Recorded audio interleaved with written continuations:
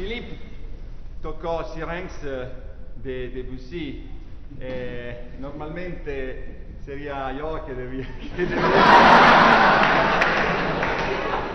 Ma è, è giusto per, perché Elo è francese, ha fatto un lavoro e ringrazio moltissimo anche Philippe per sua direzione e sua amicizia.